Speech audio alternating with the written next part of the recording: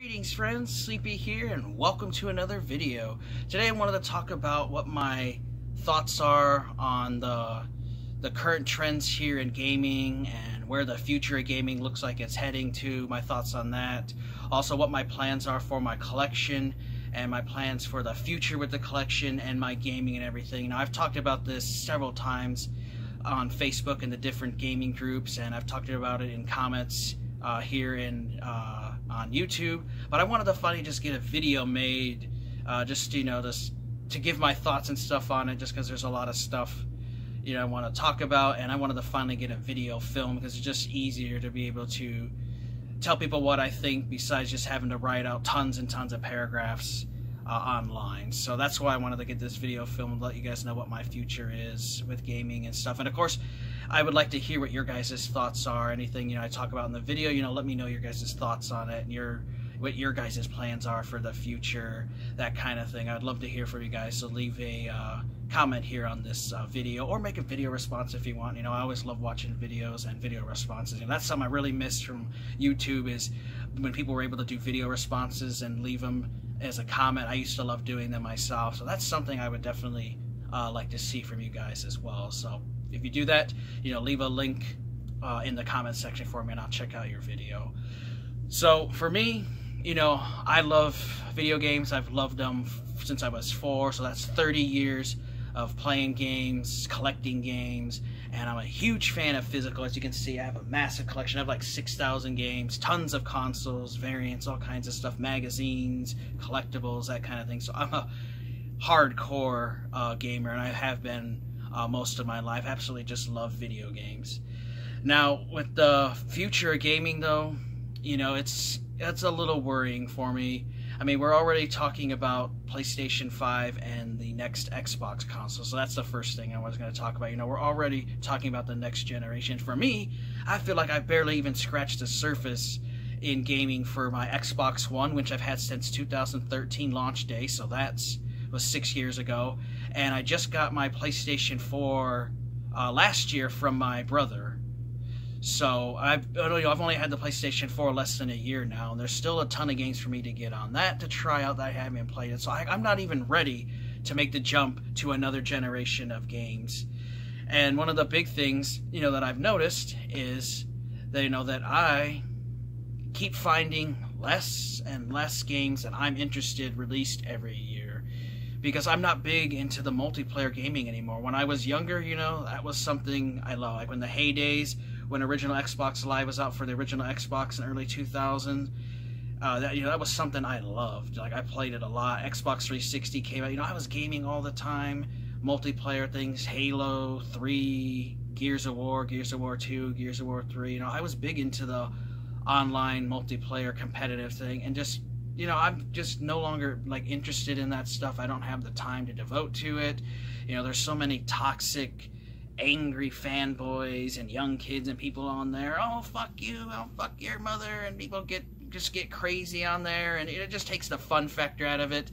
And you know, there's some games you know I'm not like going to be the best at. Like some people are crazy at the Call of Duty games and they're just so awesome at it and then people get upset because you're not awesome and you don't devote your whole life you know like I don't have the time anymore to play 15 hours a day 7 days a week just to get awesome at a game and just keep playing it over and over. You know I just don't have the time for that and it just doesn't interest me. Like I don't want to you know just devote all my time only to gaming. You know, I do have other things in my life. I have my wife, I have my son, I got friends and stuff, and I do like to do stuff besides gaming. You know, I love gaming, but you know, you got to have you know limits and you got to have moderation in your life and stuff. And so I don't want gaming just to completely consume my life. So for me, you know, I just no longer am into the online competitive gaming, and I mean that's where big money is made for developers and that's why you have the microtransactions, you have the DLC map packs and the weapon skins and loot boxes and stuff because that's where they make their money, you know. They're not making their money really anymore buying, you know, you grab like, you know, any game here, this Lord of the Rings, you know, this is a single player game, so there's no online at all. So once they sell the game, that's all the money they made on it. They're not making any more unless they release a, an expansion pack or something for it. And from, you know, a business uh, perspective, like I understand it, you know, I could sell this for 60 or I could sell this online multiplayer game for 60 and then sell millions of dollars worth of DLC, weapon packs, skins, that kind of thing. And you know, if they wanted to do it, if people didn't buy it, because people do buy it, you know, the younger generations, they enjoy that stuff and they like uh, playing the game and they like buying the weapons for it. They like buying the skins. They like buying power ups. You know, there's games where you can buy in game money with real money. Now, they would not do that if people didn't support it because people do. So, obviously, that's a model that's working and people are supporting it because if people didn't buy it, the companies wouldn't do it. And the companies are doing it because people are buying it. And, you know, I can't fault other people for what they like. You know, I respect uh, other gamers. You know, if you like to buy your loot boxes and your DLC and spend $10,000 on games every year digitally for little content, more power to you. That's good for you. That's not something I'm into. But, you know, I don't look down on people who want to do that. And I understand where the gaming industry is coming from because that's where they're making their money now. You know, making big money because they don't get money when we sell these games used. Only we do and use game stores and stuff make money. The developer, publisher, they don't get a dime. Once it's been sold brand new, that's all they get for them. So I understand why they're moving to uh, digital content and map packs and all that kind of stuff because that's where they're making money continuously on their game. And that's what people like so that's where you got to understand you know is yeah we'll just deal with that later is that that's where the future gaming is heading because that's what gamers want. And that obviously clearly shows with how much money they make. If you look in the statistics people are spending millions and millions of dollars a year on digital content extras for games. And that's why the industry is headed that way. And that's not something I want to support, and that's why I don't buy that kind of stuff. But, you know, there's more people that like it than people that don't like it. And I'm completely fine with that because, like I said, you know, I respect everybody's views and opinions and what they like in gaming. And, you know, some people, you know, they love playing their Call of Duty, they love playing their competitive Gears of War every day. And that's fine if that's what you like to do. I just, just, this doesn't interest me anymore. You know, I'm more a, a single player gamer. You know, I do like to play co op games with buddies and stuff, and that's always fun. But I'm just not big into the competitive multiplayer side anymore. I guess it's just as you get older, I don't know, your tastes and opinions and stuff just change over time. And mine is just I've just gotten more off to just like casually playing. I like you know, I'll play some competitive stuff, but it's just not my main focus like I would have been. Like if you know had this stuff been came out 10 years ago the way it is nowadays you know i would have been more into this uh, call of duties and gears of war and halo multiplayers you know. I'm not into fortnite at all. I don't like that game at all. This doesn't interest me with only battle. I mean i think the game is i think the game is interesting you know. I like the graphics and the that the combat it looks interesting. It's just not something that interests me though but i can understand and respect others who do like it but it's just not for me. And so like another thing you know, like I said, so less and less games are coming out every year. And for like my Xbox One, now I've had that console for six years, and I don't even have a hundred titles for it yet. Now, this same time in Xbox 360, I had like 300 games. Like I have a huge collection of Xbox 360 titles. It was literally like every month games were coming out that I liked, and I was renting games all the time and I absolutely loved it. You know, it's one of my favorite consoles. Now, the absolute favorite console, of course, is the original Xbox. That's why I have a complete North American Xbox set. But I also love the Xbox 360. Like that just blew me away when that came out in uh, 2005. I got that on launch day as well, and I absolutely was excited and loved it. Now, I was originally excited for the Xbox One. You know, uh, you know, I just after Microsoft changed, you know, because they pissed off a lot of people with their always being online and stuff. And at that time, in 2013 people weren't going for it. Nowadays, more people are willing to do the always online, like that shift shifting in people's perspective and their opinions of, oh, I hate it, stupid Microsoft, I'm not going to be online always. And now you got people like, oh, yeah, I like the whole digital thing. So people's things are changing, and that's kind of where we're headed to. So for me, you know, my Xbox One uh, collection is not even at 100 titles. Now, there's more I want to get but even with the Xbox One generation, you know, there's less games I want to play because there's so many uh, remastered, and some are just literally just ports over of 360 games to the Xbox One. So it's like you're just, you know, buy the same game you already experienced with a little bit better graphic. Now, there's certain games, like they're going to be doing that with the Ghostbusters video game. I love that. I'll get that just because I, I could, love, could play through that game a million times. I just love it. So there's certain games, you know, I'd like to remaster. And like, I love the Gears of War one Ultimate Edition remaster they did for Xbox One because they went through, redid the graphics and added big cutscenes and stuff to the game, and that was really awesome. So that I like stuff like that when they do it. But you know, when it's just like, oh, here's Grand Theft Auto Five, it's basically the same game. I mean, I did like that they added that first person mode, but stuff like that, like, well, you know, you've already played that game again. So there's a bunch of the re-release games. I don't need them. I already played them on 360, so I don't need to play the same game on Xbox One with a little bit better graphics. So there's, you know, that aspect to it. And then, like I said, there's just, you know, less and less, like, focus on, like, the single-player games. You know, there's just more in the multiplayer because, obviously, that's what makes more money. So for me, there's less games out there. And that's why I'm looking into, like, you know, do I really want to get a PlayStation 5 or the next Xbox console? I don't know. Like, definitely not right away because, you know, they're talking it could be 400, it could be 500, 800, 1,000. I mean, you gotta think, you know, technology costs more. And my Xbox One was $500 on launch day. And my brother got his PS4 was four or five hundred bucks for it, and that's actually one I have now, the launch one, because he got the Pro. Like I don't even have the Xbox One uh, X just because I don't have a 4K TV and I'm not all gung ho about have to have the best graphics and stuff. Because if I did that, I want to play old school games with the You know, graphics don't aren't like the end all be all for me with gaming. Like I like gameplay. Yeah, I could play a game that has shitty graphics as long as it's fun to play. Because I've played games that are like amazing, beautiful graphics, shit gameplay, terrible controls, absolutely ruin the game, garbage. Don't want to deal with it. Don't want to play it. You know, I'd rather have good gameplay than have to have masterful, crazy graphics.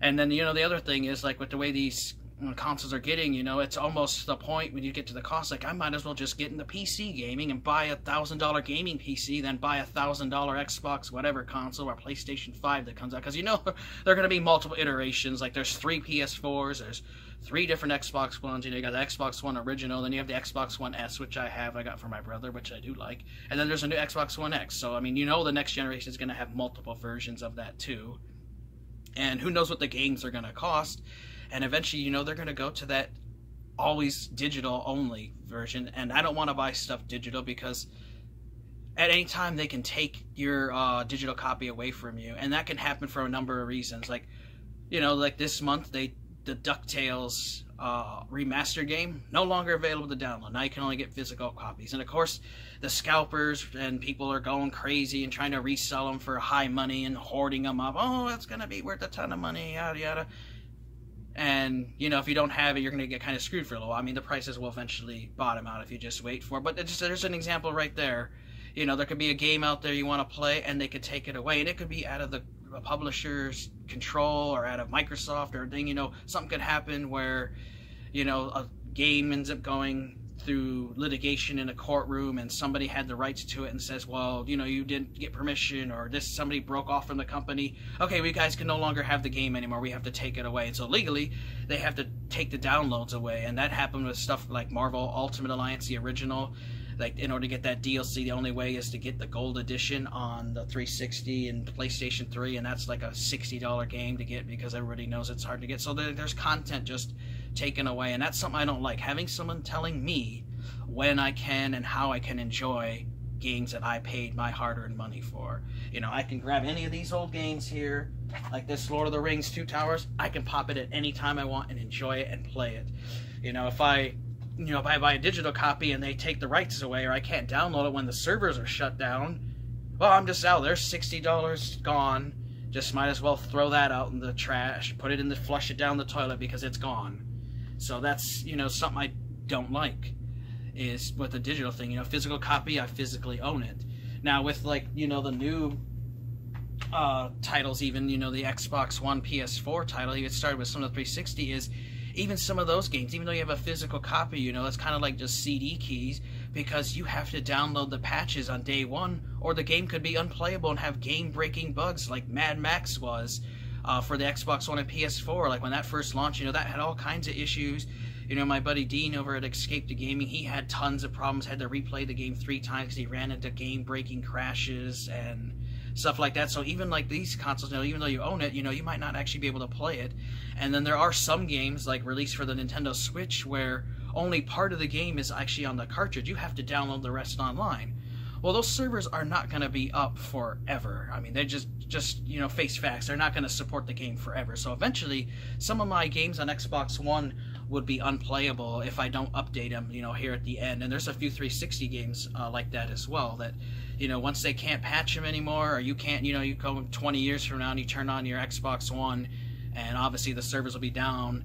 You can't go on there and download the update you need for whatever game. Let's just say it was Gears, and it needed a update because there was a critical bug right at the beginning. Well, future generations, if you don't have the internet because you can't connect to their server, you'll never be able to play that game. So that's just something I don't like.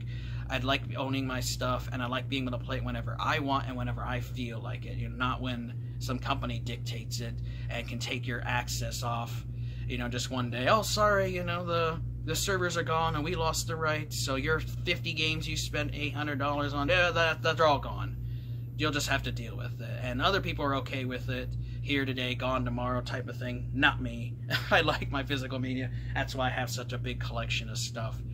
And that's why I really don't know if I'm going to get any new console like the PlayStation 5 or Xbox new console. Definitely not right away. You know, I want to see how stuff is going, what the prices are, and the games being released for it because I have so many games already as it is. Like I have a massive collection. So, you know, if it goes to that 100% digital, I'm just going to say, you know what? I'm done gaming with the modern stuff, and I'll stick to what I have, and I'll just keep buying games for older consoles because I have enough games here to last me the rest of my life. And this is even my whole collection. Like I got a bunch of more stuff in storage because I can't even display it all. I, I got a lot of stuff. Like just here is my original Xbox 360, Xbox One, and then I got PlayStation 1, Dreamcast over there, some Nintendo 64, some GameCube, PS2, some PlayStation 4, uh, Nintendo DS, 3DS, and Game Boy stuff here, some Sega Genesis, some Super Nintendo. Like, I mean, there's just so many games. I know I have more games in my collection than I could ever play in my lifetime, but I just have fun collecting it. So for me, you know, I'm set. Like, we get to that where it's only digital and, you know, the, like, they release that Xbox One discless console, which is the dumbest thing ever. But, I mean, if you like it, you know, good for you. I don't like it. I think it's dumb not being able to have access to being able to physical only, digital only. You know, that's basically like a streaming box at that point. So, you know, might as well get a PC that I can do more with if it's going to be digital only and get Steam and download games when they have sales all the time because, you know, there's not a whole lot of steals. Too, that's another thing that irritates me. It's like, understand, you know, you buy, make a physical game, you know, PC game, whatever it is. You know, it costs money for the plastic, the books, the disc, the paper, and stuff. So the digital copy should cost less because it it's less for them uh, to make because they're not investing in any physical parts. But of course, they don't want to because they'd lose money.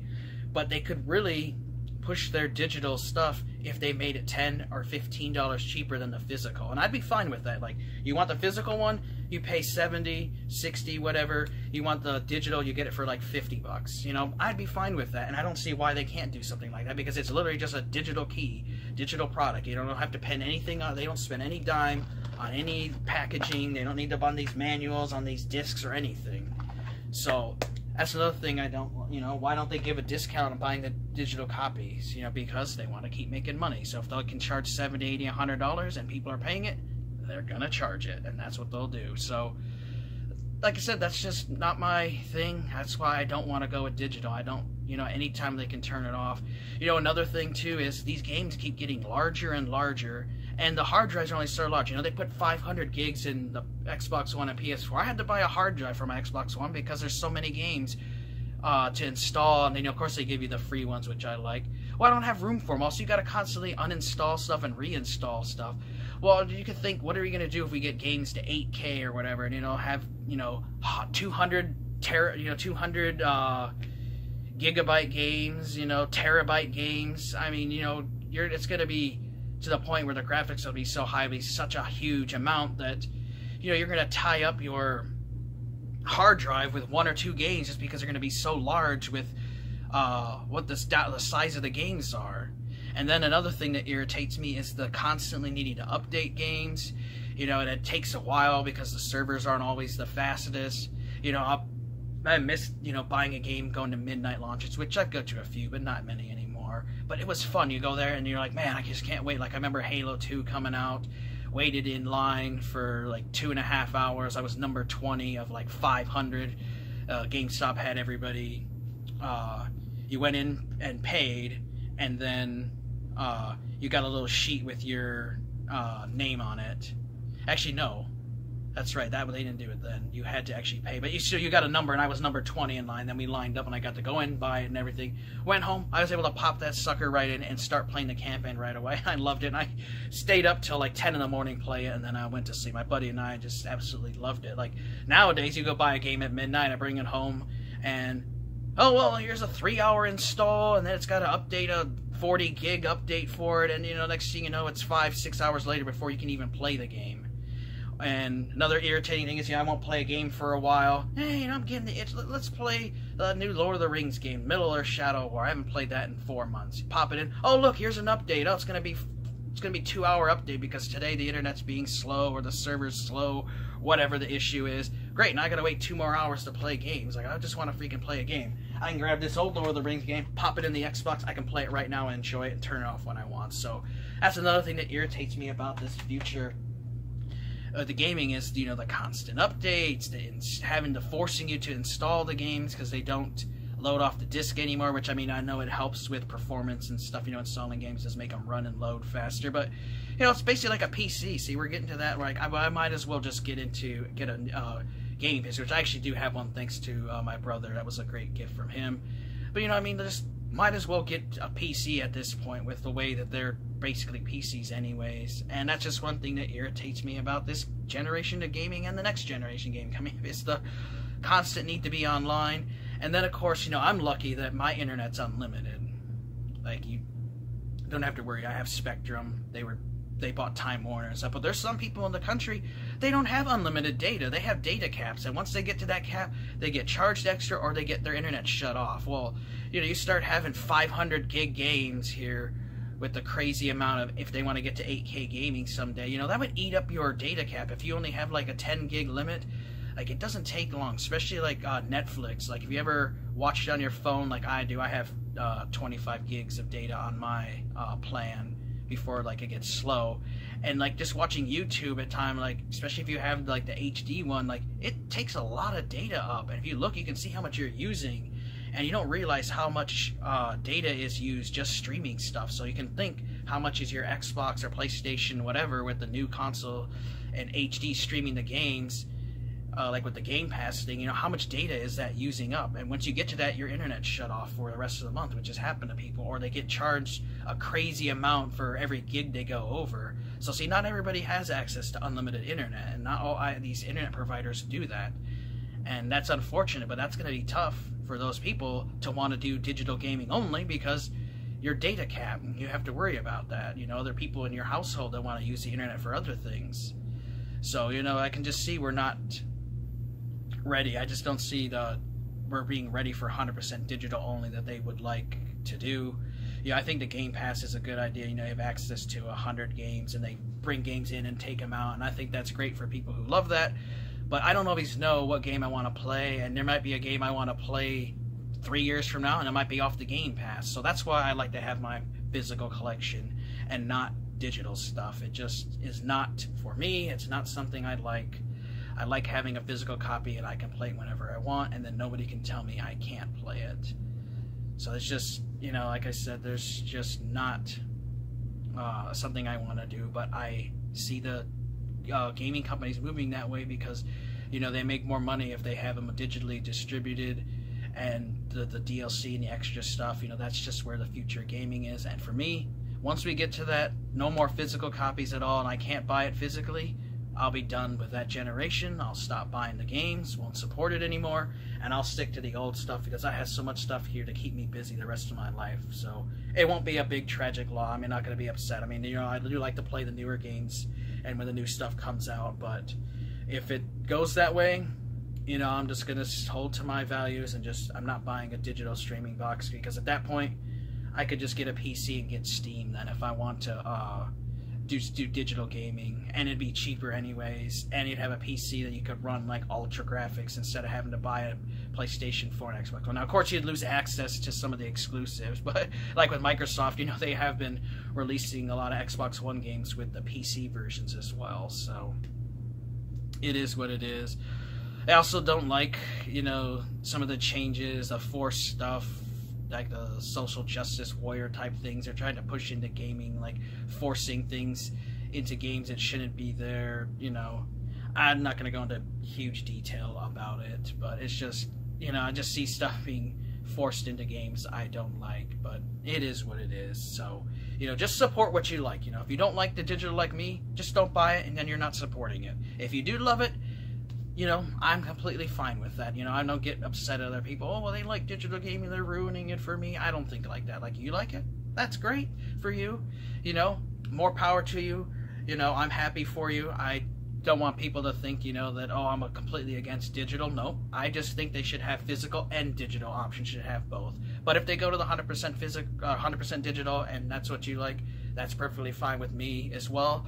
You know, that's good. You know, you guys keep supporting it. You know, it's up to you. But, you know, just vote with your wallet and support what you like. Don't make, and let anyone else tell you what to collect, what to like, what to play. You know, think for yourself and, you know, decide on your own. So for me, I don't like the digital only, so I just won't support it, and I will just keep to my uh, physical collection. And that's just my thoughts on the future gaming. So with that, you know, I'm gonna keep buying uh, Xbox One titles. You know, there's a lot of PlayStation 3, there's PlayStation 4, uh, Xbox 360 titles, still some PlayStation 1. You know, I still have a lot of old retro consoles and the older generations of games that I still want to pick up. So for me, like I said, I'm not going to be upset if we go to that digital only age. Like it's just, you know, some people they're going to be devastated. Me, like I said, I've built up such a massive library of games. I have a huge backlog. Like I have enough to keep me busy for years and years to come. Like I could literally play a different game every day not play the same game for I don't know how many years straight. If I was to play a different game, you know, I could play like in one year I could play 365 different games and be a different game every day and still not go through my entire collection. So it would take me years to go through. And some of these games take hours and hours and hours. Some are quick, some are less. Like, so for me, I'm not too worried about it.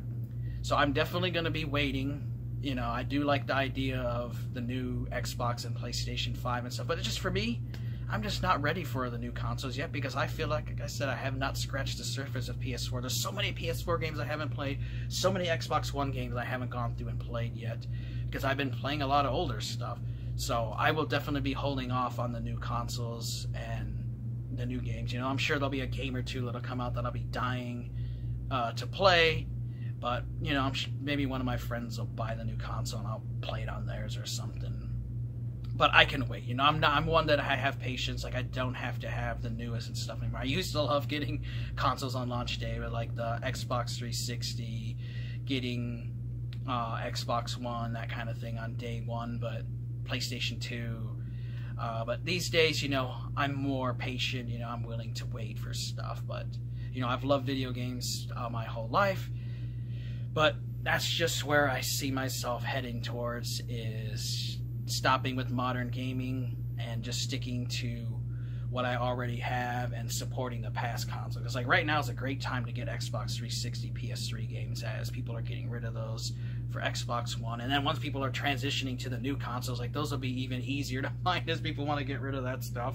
And eventually people want to get rid of Xbox One games. I mean, I'm sure they'll make Xbox One and PS4 compatible with the newer consoles. I mean, they'd be definitely smart to it because I would have that huge library of games and you know, who knows? Maybe Sony's PS5 will play PS1, PS2, PS3, PS4, and PS5. They have five generations of games on one console. Like that'd be really cool, and that would open up a library of games to them. And hopefully, Microsoft decides to you know to do that. I'm sure they're going to make at least Xbox One compatible. It'd be cool if they did the 360 and the old Xbox, and, and then have four generations on that new console. But for me, like I said, I'm going to take my time and I'm going to wait. And I'm just gonna I was just gonna show you guys like quick like overview, you know, of my collection. You know, like I said, I mean, just just look at this stuff. Like, this is just Xbox original. Like I said, the full North American set. Of course, there's you know a bunch of variants in here, but literally, I could play any game that was released on the original Xbox right now because I have the full set here for North America. And then there's a ton of that. And you go over here, more Xbox One. I have some 360 on top just because I ran out of room.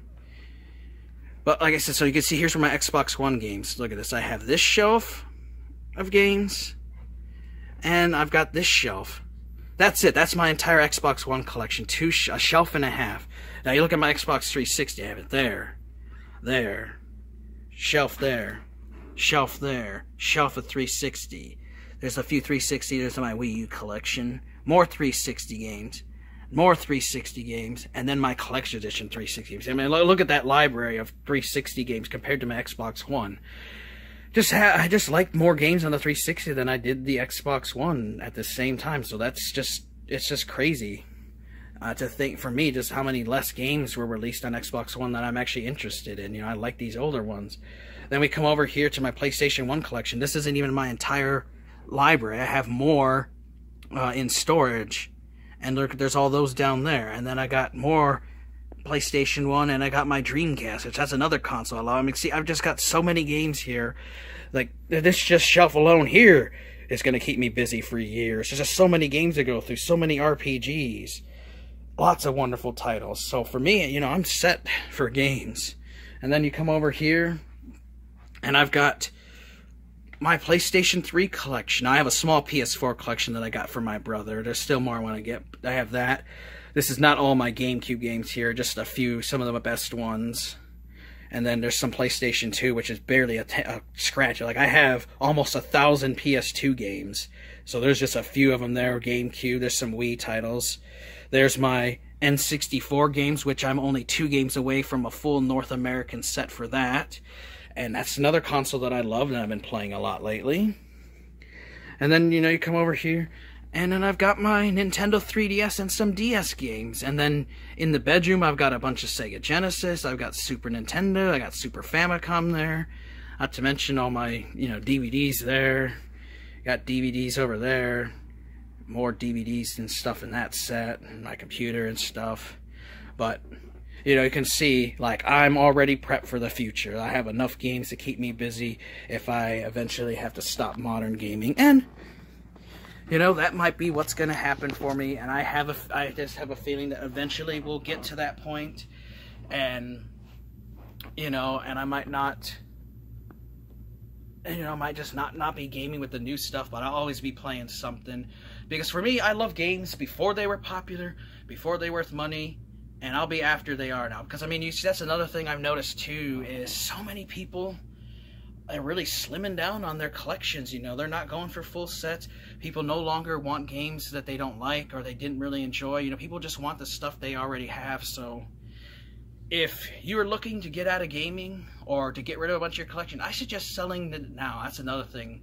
Is you know, eventually these some of these prices are going to bottom out in uh, gaming stuff like NES. You know, my generation and like the people, older than me, their 40s and 50s. I mean, do you really think people when they're 70, 80 years old are going to still want to buy and collect NES? I just really don't see and I just don't see like my son or if my when my son if he ever has kids, their generation really wanting to go back and back and play old Nintendo games with who knows what virtual reality, whatever you know, where you're practically stepping into the game. Like, why would they want to go back to these old games that their grandpa played? Like, I just don't see them staying popular forever.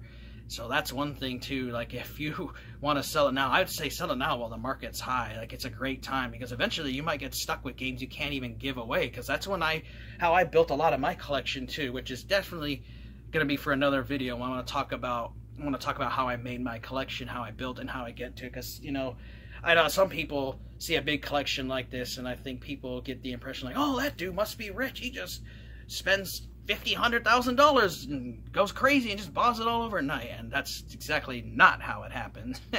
you know, I was getting stuff for cheap, but we'll talk about that in another video when I talk about how I built my collection. But that was just another thing, you know, just seeing the trend. You know, people are kind of noticing less and less like focus on retro and more into like the more modern games and especially like Nintendo Switch like that's super popular. So glad I have a Nintendo Switch. I absolutely love the console. It's great. I love the hybrid being able to take my console with me on the go or come home and plug it in. I think that's great.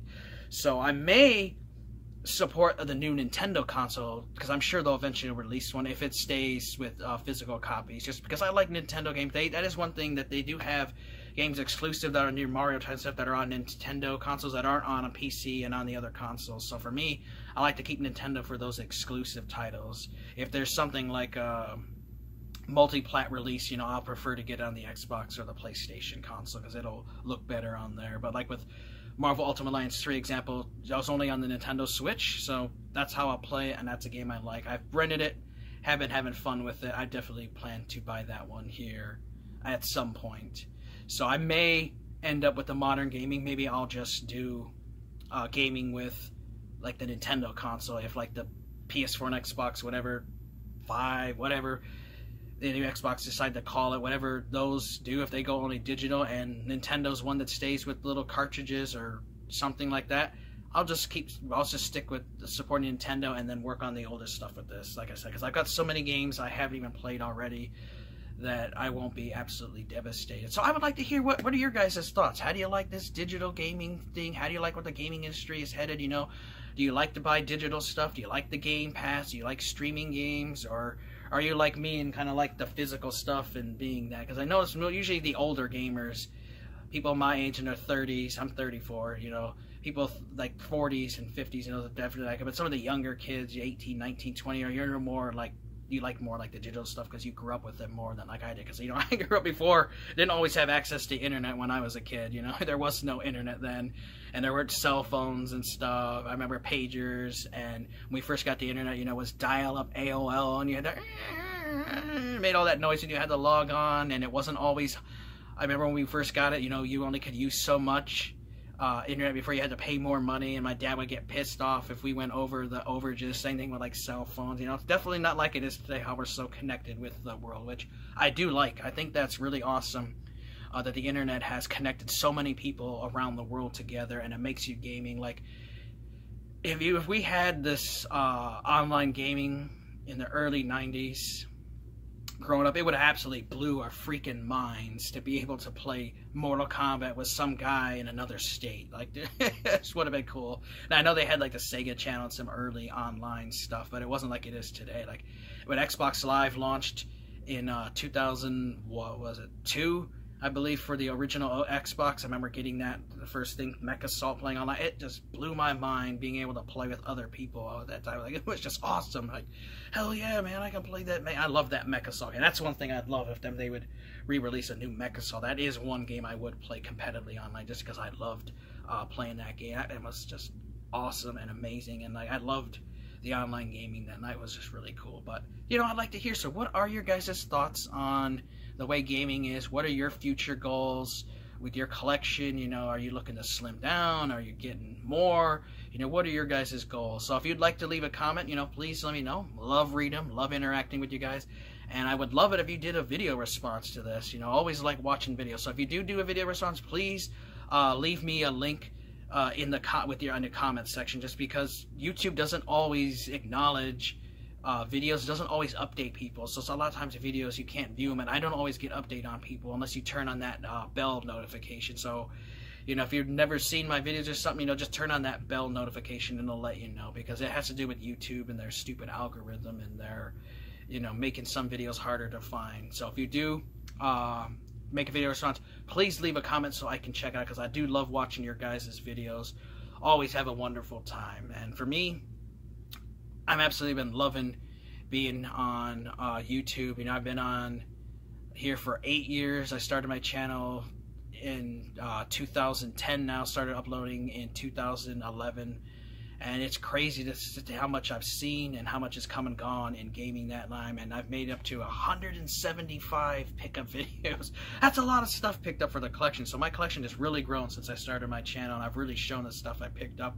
And I actually recently uploaded my 400th video, which is crazy. I can't believe I made it to 400 videos already. Now I'm over 400. Just crazy how time has flown by. I made so many great friends here. I do want to thank everybody's support over the last eight years. You guys have been amazing. I've made a lot of wonderful friends uh, here on YouTube. So many people uh, have been very friendly, have helped me with my collection. I've helped with others. And the whole reason I created this YouTube channel was to have fun and to share my passion of gaming with others who share the same goals and same passions as I do and love for gaming, you know. For me, it's never been about a job. It's never been about turning this into high production values and having Patreons and charging people money to access and talk to me, you know.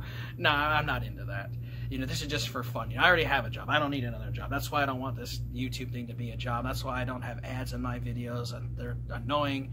You know, the only time I'd ever have ads on the videos if YouTube forced me and said, you know, sorry, you have to have ad revenue on for us. Then that's the only time I'd turn it on if they made me do it. I, otherwise, I don't want to have ads on my videos because I don't. Uh, channel's not about making money off of people. It's just about having fun, sharing my views and thoughts on stuff. So I hope you guys enjoyed the video, and I would love to hear your guys' thoughts on everything I talked about. But that's basically what my plans are for the future gaming and where I see myself here going in the future with collecting. You know, I don't ever think I'll stop collecting, and I'm definitely not going to stop gaming. I just may stay focused on what I have now and keep getting older past games because those are ones that are really fun with me, and I like that stuff.